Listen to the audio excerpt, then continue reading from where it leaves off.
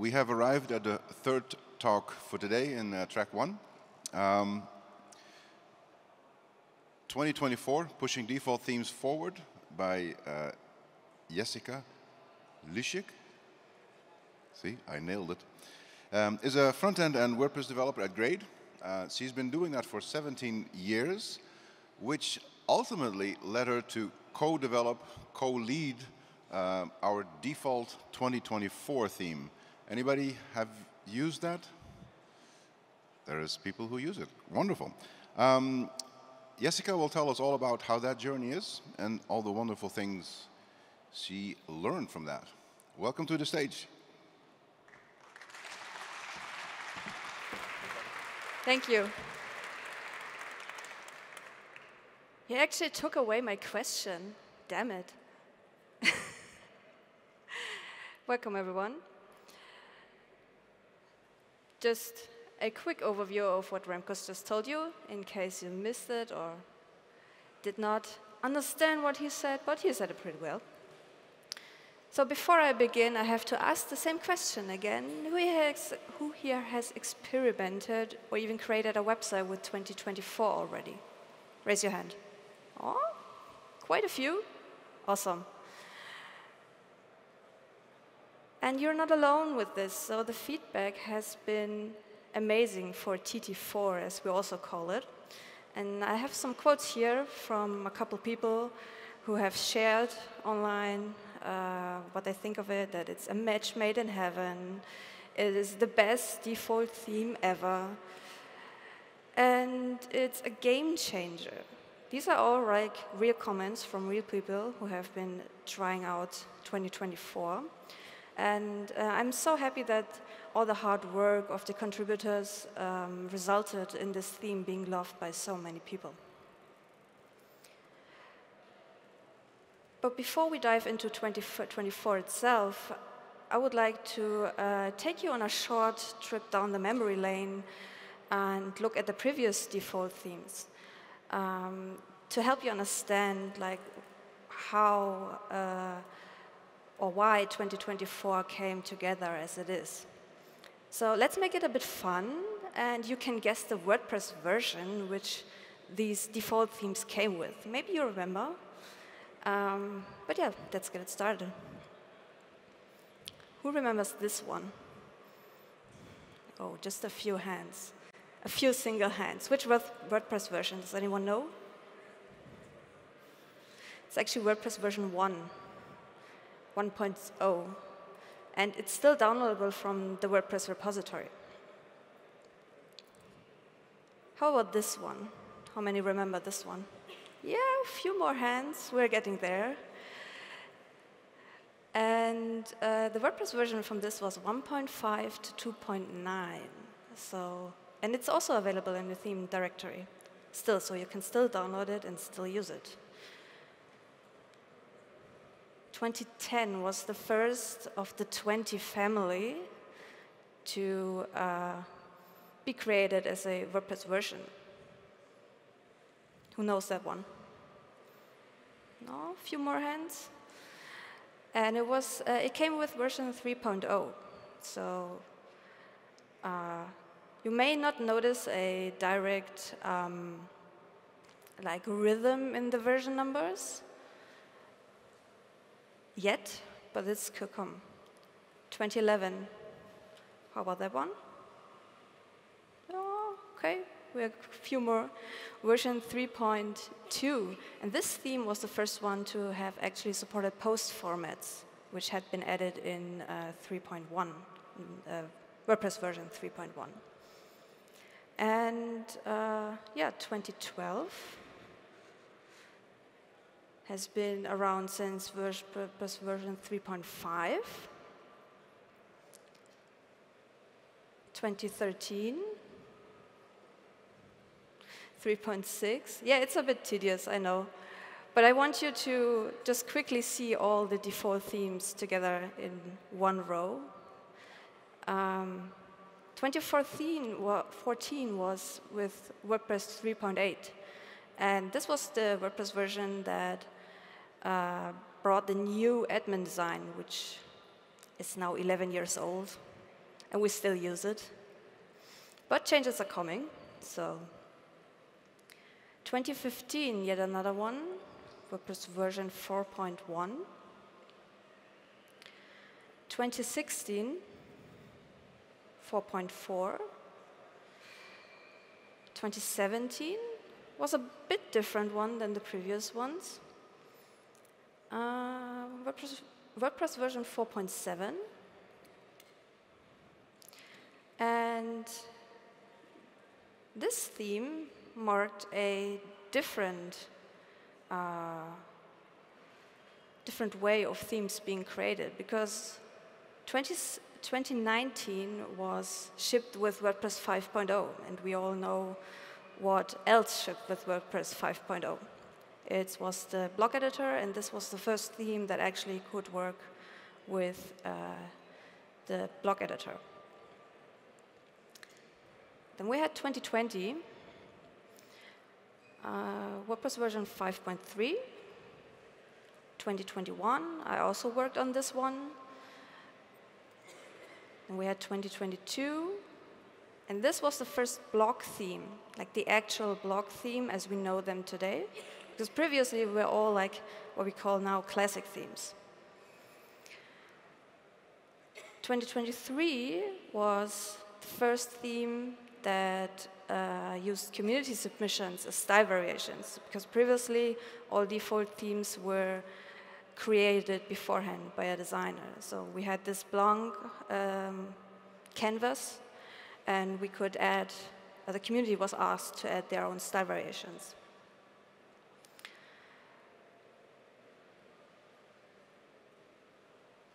But before we move on, I would like to ask you a question. What do all these themes have in common besides being a default theme? Does anyone know? Or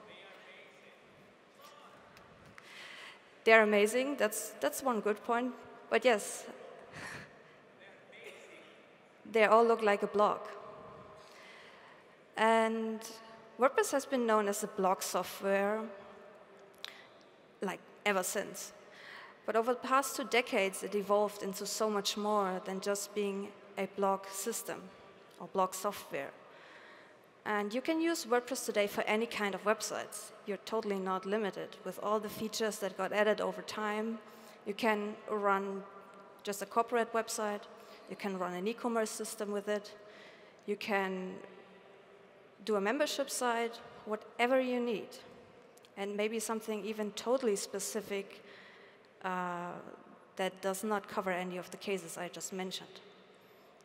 And with the extensibility and the design uh, versatility with themes, you can build any website that is more than just a simple blog.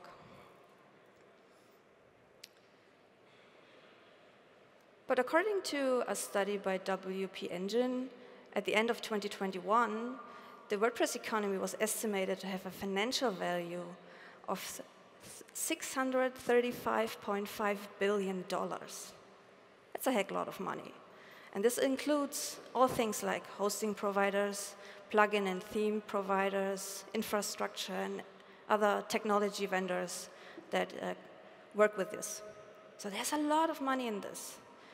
And now here's the thing you cannot tell me that this only comes from blogs. So, sure, there's still a lot of blogs around, but WordPress would not have become the product it is today and be this successful if it would have been just blogs.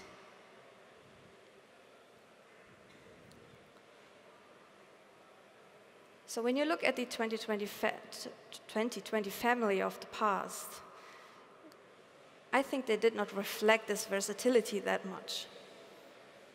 Maybe 2017 and 2020 went into that direction um, to uh, go a, bit, a little bit more in this corporate website area, but that's it. And now here's the question. If WordPress is capable of being a software product that can be used for many different use cases, why did the default previous, Previous default themes never really showcased that. And WordPress has already grown beyond being just a blog software.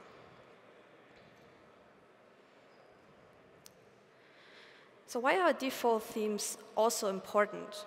Um, they have been showcasing new functionality ever since, like I mentioned with um, 2011, with the post formats. And we're still bringing new features in every year into WordPress. So it's always a good um, thing to showcase that because WordPress is evolving so quickly. That one. Um, and as in for new users, it is their first experience. If, if you come, if you have a new user that has never been work, that has, that has never worked with WordPress before, this is the first thing they interact with. And I think most advice, unfortunately, out there is to just go and say, yeah, install WordPress, and then you install theme XYZ, because it's so much better than the default theme, which is actually a shame, to be honest. And um, I barely recommended anyone recommending a default theme to actually use it as a base to start working on a website.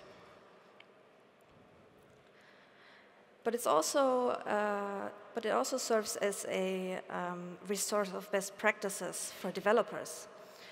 Um, for example, 2023 was really simple, and it didn't have uh, even didn't even have a functions PHP file, and because it's technically not needed anymore. Um, but with 2024, we did something else. We added a functions PHP file again, and showed how you can achieve some functionality within that PHP file. And there's no right or wrong how you create a theme. It showcases just what's best possible. And it also um, depends on like the use case you have and the type of functionality need. And you can choose freely what you want to use or not use. Um, and the default themes give you an idea what is actually possible. So now we've looked at back at the previous default themes, looked at WordPress in general and the importance of having a default theme. I hope it will be easier to understand now why, what my vision for 2024 was. I thought it was time to push the next default theme forward and showcase that it can be as versatile as the website that it needs to be built with. What are some common use cases? Uh, and how amazing, how could amazing patterns look like? What could it look like having a default theme that just is as versatile? And can we create something that we give a, a wide variety of patterns and templates that users can mix and match? This was the overall idea behind this. So 2024 comes with three different use cases, mainly. We focus on these three. The business one on the left, the photographer slash artist one in the center, and the blog one on the right. So don't worry, we did not completely break the, ru the rules here. We added a blog template. So you can still do a blog, of course. That's not a problem at all. And we also brought back the sidebar on the block layout that has been missing for a couple of default themes before that. So it's now super easy. You want a blog? No problem. Want an artist's website? You can use 2024. Showcasing their work is super easy. Want to work, uh, create a corporate website? You have various patterns that are helping you achieving that. And it has been created as a playground to experiment. And the patterns are so versatile. You can mix and match them however you want. You can change them however you want. And because they're patterns, you can make them totally your own. And before I show you some examples of how 2024 is used, like real life examples, Let's take a look first at some functionality that might be hidden a bit more, um, but that is present with 2024. So let's see how that works. So first we have this replacing feature where you can swap out a complete page, a complete template. So you open up this uh, modal, and then you get presented with the matching patterns we created, and you can simply click on one, and it completely replaces what has been there before. So it's never been easier to actually change the overall look uh, of a template this fast.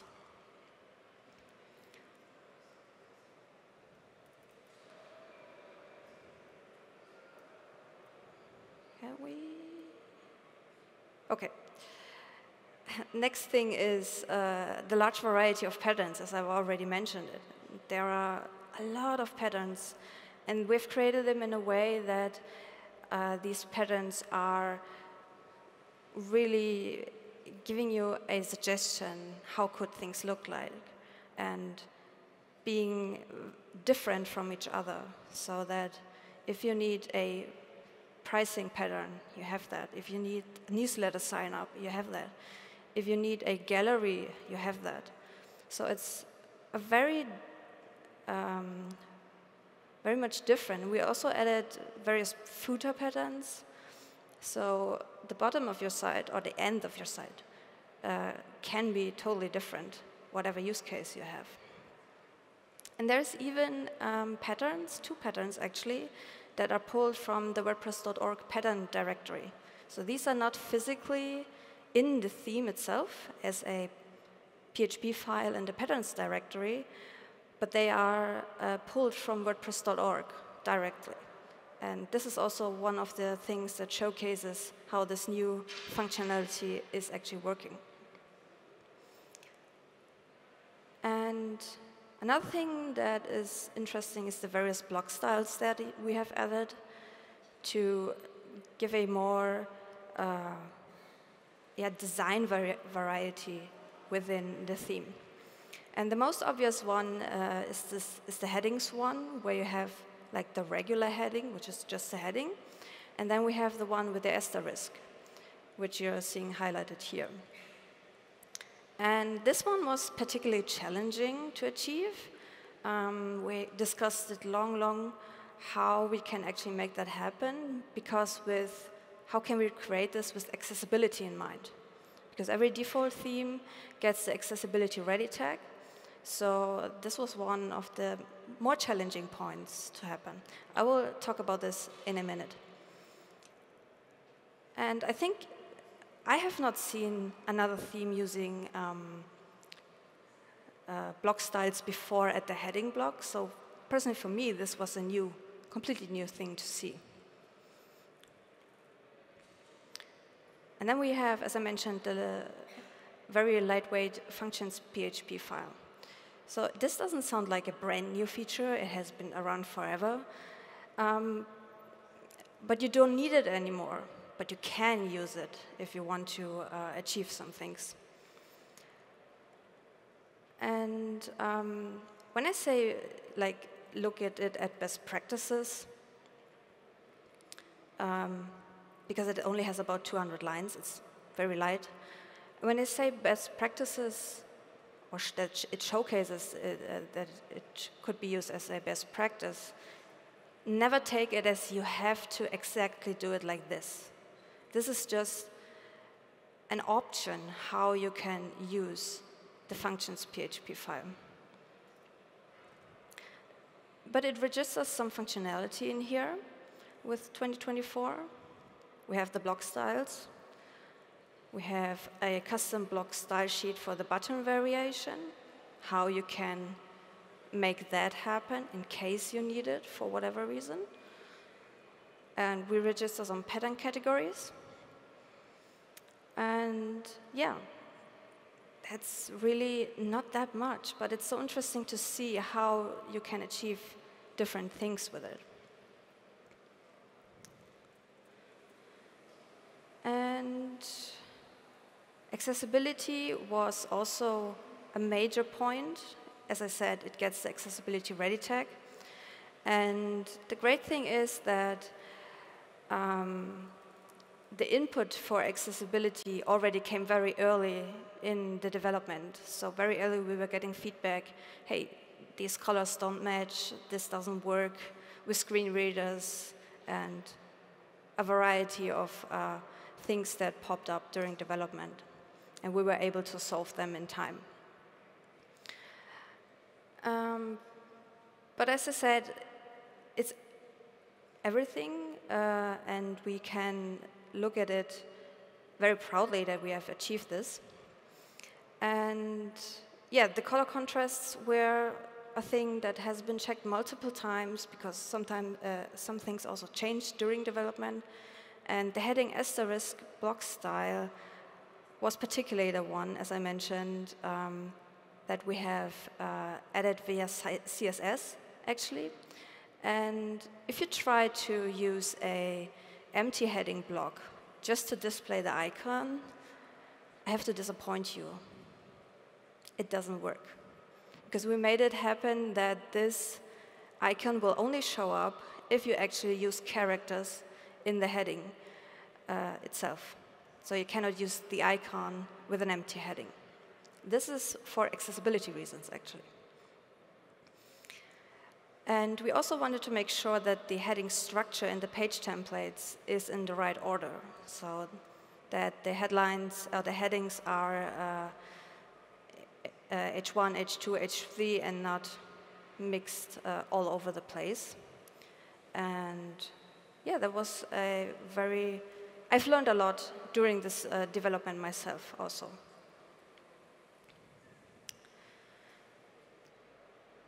So now that I've shown you a bit the history, that I've shown you a bit the uh, what is in 2024 actually, I want to show you some real websites that have been created with 2024.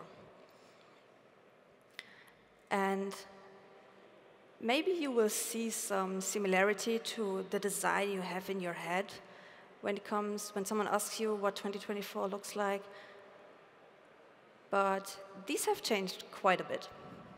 So let's take a look.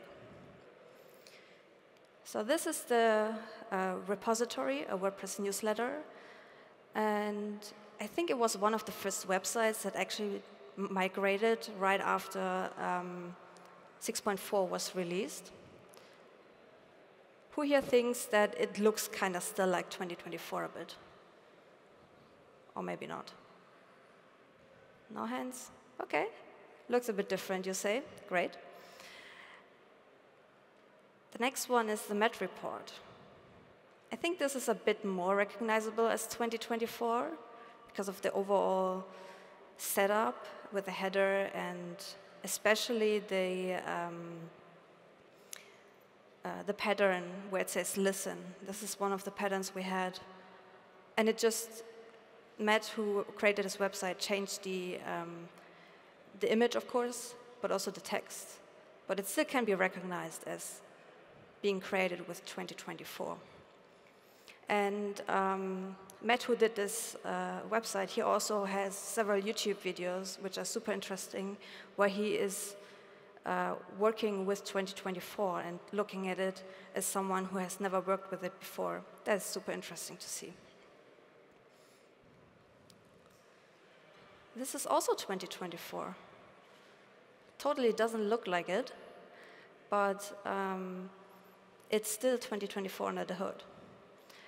So you're totally not limited to design that is provided. And this is a great example of how differently a website can look like when you have uh, the creativity in mind to make it your own. This is also 2024.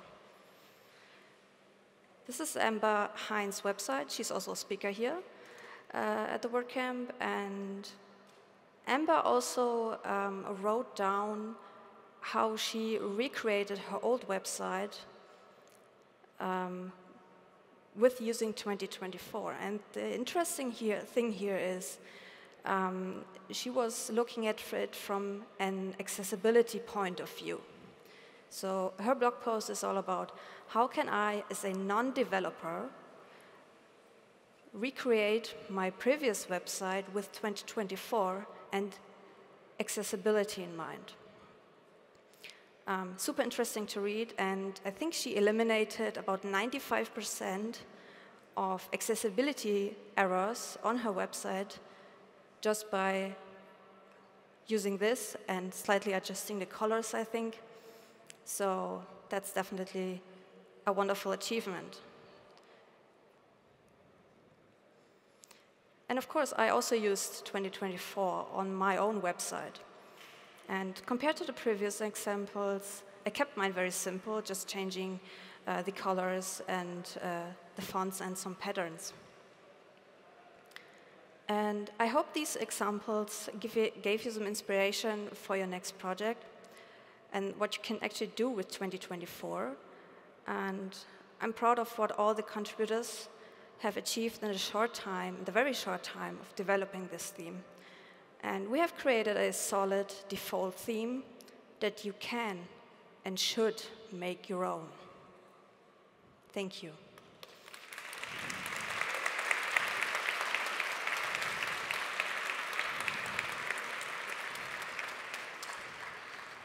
Thank you. Um, we have time for some questions. The microphones are to my left and to my right, or I, um, I mix those up. Hey there. Hi. Thank you for your, your talk. Thank you. Uh, I want to um, give you some perspective from a, from, from a tech blogger, you know, that does that, does that for, for passion. Mm -hmm. I always like the idea of default themes, and you agree when you say that um, it should be a standard approach, right? Everyone should be should say, okay, I want that uh, um, that theme. What I've noticed in the last years is that uh, what I was saying from there is uh, it's basic because the more you go, the more you see that the last few years the the themes that are really basic as a design. Not, it's not a bad thing. I'm not saying it's a bad thing. Don't take it as a bad thing. I'm, I'm saying the design. So you'll see, for example, it doesn't have so much, you know, uh, thing. It, it's good for every size. So it just uh, there is not so ma many buttons, many uh, round, many specific. Um, uh, I'm not, I'm not sure if my my my point is is un, is understandable. I hope yes. But the, the thing is actually it's. Uh, is really standard. It should be like a bit more, you know, understandable that I use it. Uh, I found another um, block theme that have exactly that. Uh, I'm not connected with that. It's a free thing. I'm not going to, to tell the name here because I don't want to say mm -hmm. we said that at the time. But uh, I, I, really hope for the next year to see a bit more. Um, how can I say a, a bit more um, worked on. I'm not sure. My, my I think I get your point. Um, and last yes? but not least, I wanted to say that. Um, no, that's no, no. Thank you so much for your for your time. Sorry if I spoke. No, it's okay. I was thinking with that. In the meantime, I was saying sorry. No, okay. I I think I know what you what you want to say. So yes, the design is fairly simple. I totally get that. The thing is, we only had two and a half weeks to design it, or designer had only two and a half weeks. So it's, I think, but for the time she had, she did an amazing job. But I totally get your point that a theme could also be more advanced in design, have more, uh, more have a more bold design, and um, we have, or Rich has been uh, collecting, Rich Tabor has been collecting ideas yesterday at Contributor Day. And there is an official mood board for 2025 for the next default theme. So you can bring in any inspiration that you have to uh, the next default theme and tell people like, hey, this would be a very nice thing to uh, actually think about in the next default theme. Can we make it a more bold design? That's totally possible. Uh, thank you. Um, I don't see anybody at the. Yeah, there is. Hello. Hi. Um, in the in the recent years, with all of those new possibilities appearing, how to customize the, the themes, to me, um, the, the question more and more arises how much the whole concept of a theme itself continues to make sense. If, like like you just wonderfully showed, with just one theme, you can already create so many different styles. So, uh, does do WordPress does WordPress even still need themes like that, this bundle mm -hmm. thing, or should it just be an empty canvas, which you then just use patterns and all these kind of pieces to create what you need? I just was wondering what your thoughts on, are on this. Um, that's a very good question, thank you. I think that we should still have different themes because you cannot put everything into one thing. You cannot put a super um, light website together with a very fancy designed website. You could, technically you could. But the question is, how can you um, make it easier for users? So if you overwhelm them with too many options, they will not use it. If you give them the opportunity to only use like a photography theme or only use a magazine theme, that's easier to customize and easier to like grasp what you can actually do with it, that they have a specific use case. And I think that's where it should focus, because then at the end of the day, you will get in hundreds and thousands of patterns. The question is, is that useful for the user? I don't think so because it would be too many options for the user to choose from. So that we have different themes, we can like um, condense down in this specific use case. If you have a photography blog where you show your photos, you do not need like a pricing page, for example, or pricing pattern in theory. You would need, not need two. So I think it's still a good idea to have uh, different things going on as a, within a theme. You can make it a theme like 2024. You can do a, a corporate website and a photography website, of course. But if you would only have one theme and would try to um, put everything into this, I think it would be too overwhelming for the user. Thank you. Yeah, next question. Yes, hello, my name is Stefan from Switzerland. Hi. And hi, I appreciate very much your work. Thank you. And I have a little bit of experience with uh, uh, the websites are getting very fast responsive mm -hmm. for a smartphone and everybody is using a smartphone if you're sitting in a bus, in a train and so on but I don't see a theme which really put in the functions for communication, for making photos or something like that uh, with WordPress. And I would know if you think about to make a theme which integrate more functions of smartphones today. Thank you. Thank you. That's an interesting question. I think this slightly overlaps with functionality that a theme cannot cover. Because the most functionality that how a theme works is actually done in the Gutenberg plugin. So it's in WordPress itself. A blog theme today is only a configuration file. Don't want to say it, but it's actually like it is. It's only a configuration file of how, what colors do you use, what fonts do you use, what are the spacings, how does a heading look like, how does I don't know, a quote block look like, whatever. You can all configure this in a theme, in, in the theme itself. But um, what you're talking about is, I guess, a bit more functionality, specifically for mobile. And this functionality cannot be covered by a theme. It has to be in WordPress itself. Okay. Thank you. Bernard? Um, was there something in the process of creating 2024 you would like to have in core already, or is there something you're looking forward to being available for 2025? So some of the features you would say, ah, if I would only have this, it would be so much more amazing. hover styles. Oh, yeah, hover styles. That's a good one. Who else wants hover styles? Cool. Yeah, that would be great because that was a point we were reaching during the whole process. Like the designer, Bea, she uh, created a design that was beautiful and different uh, hover styles for the buttons, and then we have to say, sorry, but WordPress cannot do hover styles. And that would be really great to see in 6.7. Thank you. Yeah, go. Hey Jessica, this was uh, really great. So um, awesome job today. Thank you. My uh, my question is about the next default theme. Is there like one thing or one vibe in particular that you would like to see in the upcoming default theme? Oh, that's a good question. I'm not sure if I have an answer to this. Otherwise, it should be great. You could design it, maybe.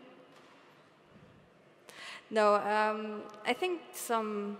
Well, we have an early question here with being a bit more bold and a bit more. Um, because 2024 had this calm vibe. And I think if we create something that is, has a bit more yeah, boldness to it, I think that would be a cool thing to do. Yeah, sounds good. Thanks. Awesome. All right. Thank you so much. Jessica? One more. Thank you. Thank you.